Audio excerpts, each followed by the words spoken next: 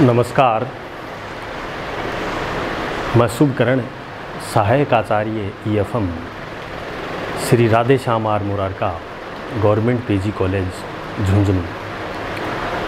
आज हम BCom part प्रथम वर्ष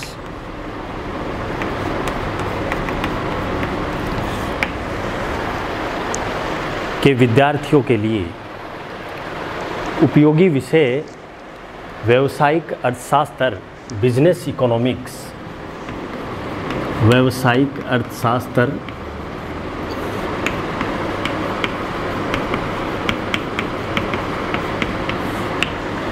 बिज़नेस इकोनॉमिक्स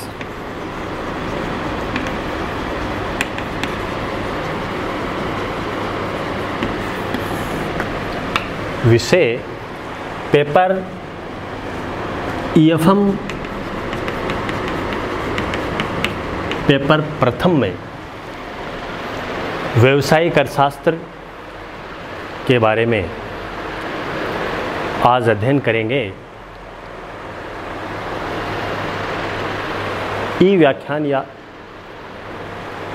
ई लेक्चर की शुरुआत करने से पहले सभी विद्यार्थी सत्तर दो हज़ार बीस इक्कीस के विद्यार्थियों को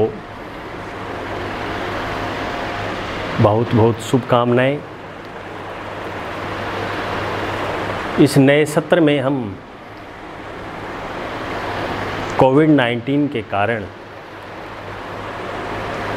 ई व्याख्यान के माध्यम से आपको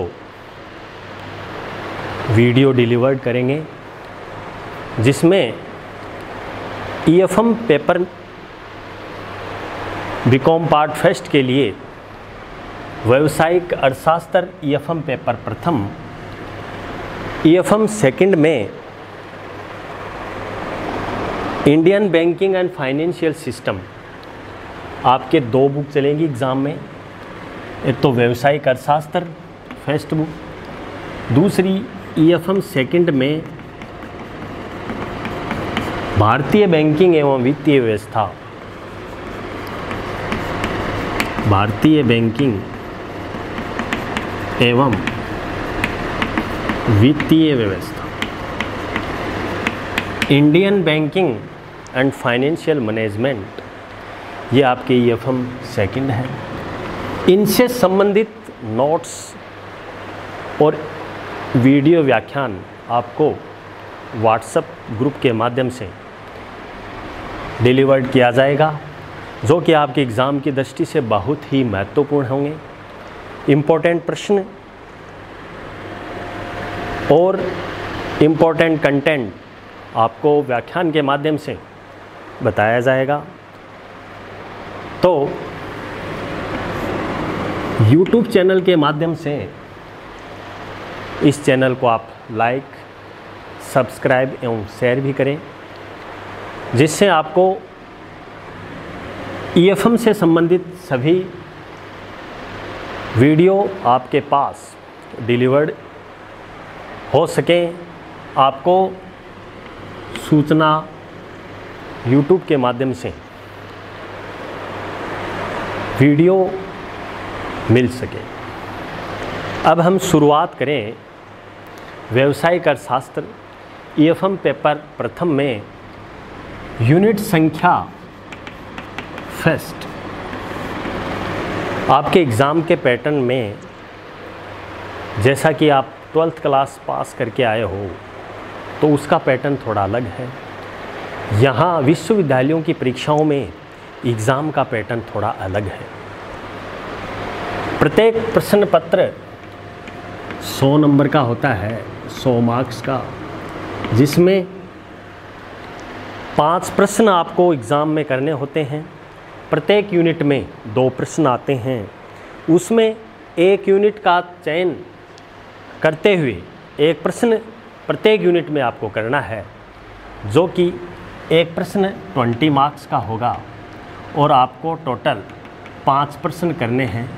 इस प्रकार ये 100 नंबर का आपके एग्ज़ाम में पेपर होगा, एक ऐसे ही पेपर संख्या सेकंड। सर्वप्रथम हम व्यवसायिक अर्थशास्त्र के बारे में चर्चा करें, जाने, जैसा कि आप पूर्व के क्लास में आपने पढ़ा है बिज़नेस इकोनॉमिक्स हो सकता है कई बच्चों के कंप्यूटर भी हो, परंतु बिज़नेस इकोनॉमिक्स का अध्ययन करने से पहले पहले हम अर्थशास्त्र के बारे में पढ़ें। जैसा कि अर्थशास्त्र इकोनॉमिक्स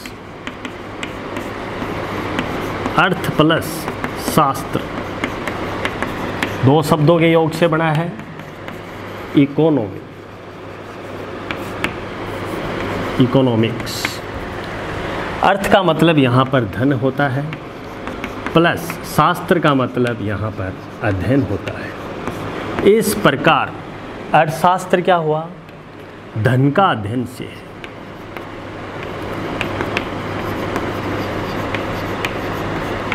धन के अध्ययन से संबंधित विभिन्न परिभाषाएँ आपने पढ़ी। जैसा कि एडम स्मिथ ने भी अपनी धन से संबंधी परिभाषाएँ दी, रॉबिन्सन ने कल्याण संबंधी, और भी विभिन्न अर्थशास्त्रियों ने। तो सिंपल शब्द में हम बात करें कि अर्थशास्त्र क्या है और व्यवसायिक अर्थशास्त्र क्या है। जैसा कि अर्थशास्त्र के जनक भी आपने पढ़ा होगा। अर्थशास्त्र का जनक क्या कौन है? Adam Smith. Father of economy Adam Smith, इन्होंने the an inquiry of the cause of wealth of nation, इस बुक्स में वेल्थ ऑफ़ नेशन बुक्स में अर्थशास्त्र या धन से संबंधित परिभाषाओं का अध्ययन किया गया, जो कि एडम स्मिथ की बुक्स का भी ये नाम है। इसी प्रकार ये तो नॉर्मल है, जो कि आपने बिल्कुल एक न्यू क्लास के रूप में या फिर शुरुआत में आपने इनका अध्ययन किया। आगे भी आपने आपने अर्थशास्त्र के क्षेत्र के बारे में अध्ययन किया कि अर्थशास्त्र को दो भागों में बांटा गया कितने भागों में? दो भागों में। एक कौन सा?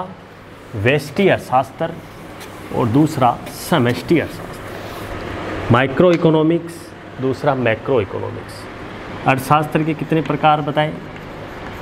क्षेत्र स्कोप ऑफ़ इकोनॉमिक्स वेस्टी अर्थशास्त्र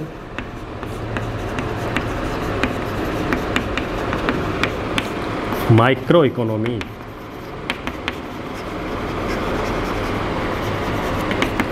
और समष्टि अर्थशास्त्र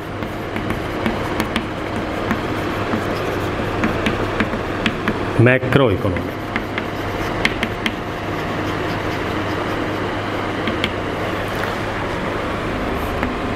व्यष्टीय शास्त्र क्या है? जैसा कि नाम ही प्रतीत है माइक्रो माइक्रो का मतलब यहाँ सूक्ष्म होता है, छोटा। व्यष्टीय शास्त्र ज्ञान की वह शाखा है जिसमें व्यक्तिगत इकाइयाँ या छोटी छोटी इकाइयों का अध्ययन किया जाता है। व्यष्टि अर्थशास्त्र कहलाता है। जैसे विशिष्ट व्यक्ति, फर्म और उद्योग। ये किसमें आते हैं? इसका आकार संक्षिप्त होता है। तो इसलिए व्यष्टि अर्थशास्त्र है। इसी प्रकार समष्टि अर्थशास्त्र में पढ़ेंगे। व्यष्टि अर्थशास्त्र में हम पढ़ेंगे व्यक्ति, फर्म और उद्योग, जिसमें आगे के अध्याय में utility demand analysis supply consumer behaviour में मांग का नियम क्या है? मांग की लोच क्या है? इलास्टिसी ऑफ़ डिमांड क्या है? ये सब किसके पार्ट हैं? वेस्टी में। सेमेस्ट और भी हैं। मार्केट है, प्रोडक्शन है। ये वेस्टी का प्रकार समष्टि अर्थशास्त्र, जैसा कि नाम है मैक्रो मैक्रो का मतलब होता है वह व्यापक। व्यापक का यहाँ तात्पर्य विस्तृत से है। समष्टि अर्थशास्त्र ज्ञान की वह शाखा है, जिसमें संपूर्ण अर्थव्यवस्था का अध्ययन किया जाता है। किसका? संपूर्ण अर्थव्यवस्था।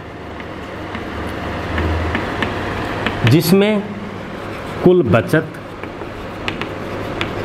कुल रोज़गार, कुल विनियोग, कुल राष्ट्रीय आय, और भी विभिन्न है। कुल ब्याज तो क्या है? संपूर्ण अर्थव्यवस्था का अध्ययन किया जाता है, वो कौन सा है? समष्टि अर्थशास्त्र इस प्रकार, समष्टि और व्यष्टि अर्थशास्त्र का हम इस बुक्स में बिज़नेस इकोनॉमिक्स में चैप्टर वाइज आपके इस कोर्स में अपन अध्ययन करेंगे, जिसमें व्यष्टि अर्थशास्त्र और समष्टि अर्थशास्त्र दोनों का अपन अध्ययन करेंगे। यह तो बात रही यहाँ पर इंट्रोडक्शन की, जो कि आप पूर्व के क्लास में पढ़ चुके हैं। जैसा कि आपने पढ़ा कि वेष्टि समष्टि शास्त्र के जनक कौन है? तो एजवर्थ वेष्टि समष्टि शास्त्र के जनक माने जाते हैं। आगे हम बात करते हैं टॉपिक की। यूनिट संख्या प्रथम में व्यवसायिक अर्थशास्त्र का अर्थ एवं क्षेत्र। आज हम पढ़ेंगे, जैसा कि पहला प्रथम चैप्टर है आपके, व्यवसायिक अर्थशास्त्र का अर्थ एवं क्षेत्र।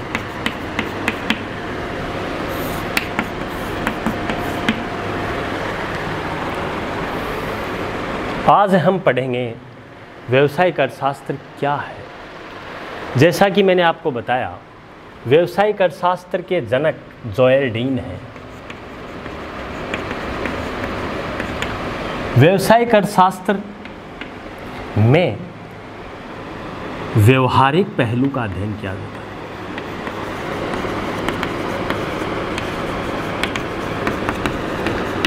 किसका अध्ययन किया जाता है? ह्यूमन बिहेवियर व्यवसायिक अर्थशास्त्र में व्यवहारिक पहलू का अध्ययन किया जाता है। कोई भी प्रश्न हम जब अटेम्प्ट करते हैं तो सर्वप्रथम उसकी भूमिका के बारे में जानेंगे। तो भूमिका में इसकी पढ़ेंगे, जैसा कि बहुत ही महत्वपूर्ण क्वेश्चन आपके एग्ज़ाम में आता है कि व्यवसायिक अर्थशास्त्र से आप क्या समझते हैं? व्यवसायिक अर्थशास्त्र का अर्थ व एवं विशेषताएँ या प्रकृति का वर्णन कीजिए। Define business economics and characteristics या नेचर ऑफ़ बिज़नेस इकोनॉमिक्स। आज हम ये पढ़ेंगे व्यवसायिक अर्थशास्त्र क्या है व्यवसायिक अर्थशास्त्र की प्रकृति। सर्वप्रथम कोई भी प्रश्न की हम जब शुरुआत करते हैं एग्ज़ाम में, बहुत ही महत्वपूर्ण ये होता है, क्योंकि कक्षा बारहवीं पास करके आते हैं विद्यार्थी, जिसमें बच्चों को पैटर्न नहीं मालूम होता है कि कैसे अटैम्प्ट करना है। तो जैसा कि ये प्रश्न है व्यवसायिक अर्थशास्त्र का अर्थ एवं विशेषता है। सर्वप्रथम तो उसकी आप भूमिका लिखोगे। रोल।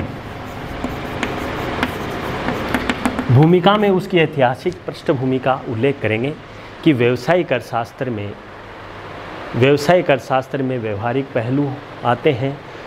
एक मनुष्य एक सामाजिक प्राणी है, जो समाज में रह के विभिन्न प्रकार की आर्थिक क्रियाएँ करता है, धनोपार्जन की क्रियाएँ करता है और धनोपार्जन की क्रिया करके वो अपने जीवन यापन या अपने जीवन स्तर को सुधार करता है, अपने जीवन स्तर में बढ़ोतरी करता है।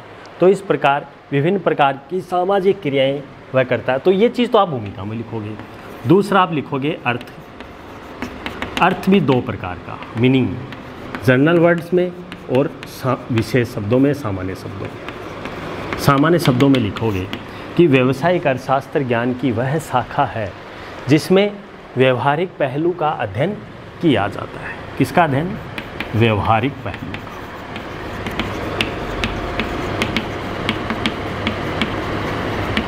वो व्यवसायिक अर्थशास्त्र है। दूसरे शब्दों में व्यवसायिक अर्थशास्त्र ज्ञान की वह शाखा है जिसमें व्यवहारिक पहलू ह्यूमन बिहेवियर व सैद्धांतिक पहलू। पहलू का अध्ययन हो, वो क्या कहलाएगा? व्यवसायिक अर्थशास्त्र कहलाएगा। इसी प्रकार तीसरा पॉइंट लगाओगे, परिभाषाएँ। परिभाषाओं में, विभिन्न परिभाषाओं में दोगे, जैसा कि प्रोफेसर जोएल डीन के अनुसार जोएल डीन के अनुसार। कि व्यवसायिक अर्थशास्त्र ज्ञान की वह शाखा है, जिसमें व्यवहारिक एवं सैद्धांतिक पहलू का अध्ययन किया जाता है, इनवर्ट कोमा में बंद करके। जैसा दूसरी परिभाषा एडम स्मिथ, व्यवसायिक अर्थशास्त्र वह है, जिसमें धन से संबंधित अध्ययन किया जाता है, वो व्यवसाय। और भी है जोएल्डिन और विभिन्न प्रकार के अर्थशास्त्री, जिसमें अपन चर्चा करेंगे, James and J R Pakistan भी ये कहता है कि व्यवसायिक अर्थशास्त्र फर्म के आचरण एवं सैद्धांतिक पहलुओं का अध्ययन करता है। इस प्रकार दो तीन परिभाषा लिखने के बाद में आप अंत में लिखोगे निष्कर्ष। निष्कर्ष रूप से अपन ये कहेंगे कि व्यवसायिक अर्थशास्त्र ज्ञान की वह शाखा है जिसमें व्यवहारिक एवं सैद्धांतिक पहलुओं का अध्ययन किया जाता है या फिर हम ये भी कह सकते हैं कि उपयुक्त परिभाषाओं से ये निष्कर्ष निकाला है कि व्यवसायिक अर्थशास्त्र में ज्ञान की वह शाखा जिसमें आर्थिक विश्लेषणों के सिद्धांत पर व्यवसायिक प्रबंध में होने वाली विभिन्न समस्याओं का समाधान करके विभिन्न प्रकार के निर्णय, विभिन्न प्रकार के नीति निर्धारण में जो भी समस्याएँ जो आती हैं, उनका समाधान किया जाएगा, प्रबंध स्तर कर वो व्यवसायिक अर्थशास्त्र होता है तो इस प्रकार ये व्यवसायिक अर्थशास्त्र का अर्थ है। तो पाँच नंबर आपके एग्ज़ाम में, एग्जामिनर आपको नंबर देगा। आगे हम अध्ययन करेंगे। व्यवसायिक अर्थशास्त्र की विशेषताओं के बारे में। कि व्यवसायिक अर्थशास्त्र की क्या क्या विशेषताएँ हैं और व्यवसायिक अर्थशास्त्र की क्या क्या प्रकृति है।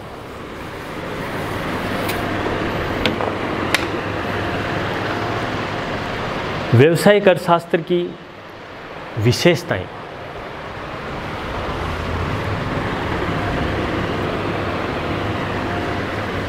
या प्रकृति।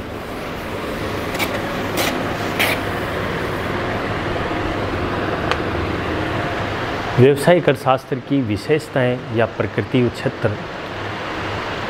आगे के वीडियो में हम आपको ई कंटेंट या ई वीडियो के माध्यम से आपको डिलीवर्ड करेंगे। बहुत बहुत धन्यवाद बहुत बहुत आभार। और व्यवसायिक अर्थशास्त्र क्या है? व्यवसायिक अर्थशास्त्र में कौन कौन सी उसकी प्रकृति, विशेषताएँ हैं और व्यवसायिक अर्थशास्त्र का क्षेत्र क्या है, उसके बारे में हम वीडियो के माध्यम से आपको अगले व्याख्यान में विस्तृत रूप से अध्ययन करेंगे। बहुत बहुत धन्यवाद। Thank you very much